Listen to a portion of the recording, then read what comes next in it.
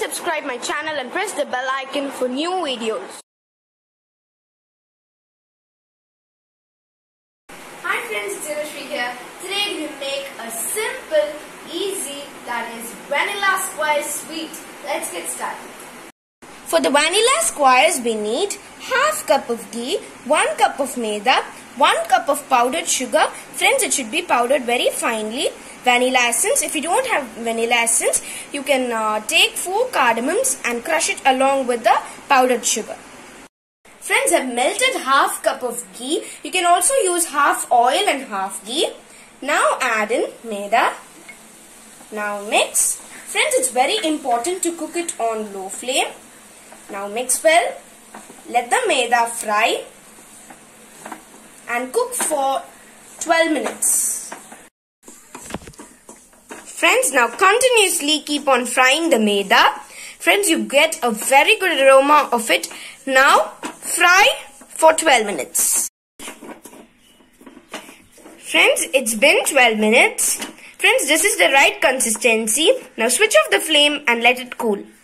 Friends, um, the this is not very hot, but it is little warm. Now, add 1 teaspoon of vanilla essence. Now, mix. Mix well. Friends, now it's time to add in the powdered sugar. Friends, add gradually.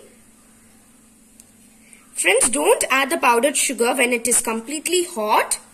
When it is a little warm, add the powdered sugar. Now add gradually, friends. Now mix. And friends, grease some ghee to the aluminum foil. Friends, now place this mixture on the foil. Level up and make it to a square shape. Friends, have leveled it up have given a perfect square shape. Friends, now if you want you can top it up with the tutti frutti. It's completely optional. Now place this in the freezer for just 15 minutes friends but not in the fridge. Friends it's been 15 minutes. I've taken it out from the freezer. Now we're gonna cut it into blocks. Friends, I've cut it into blocks. Friends, this is a very simple sweet which you can make in no time with very simple ingredients.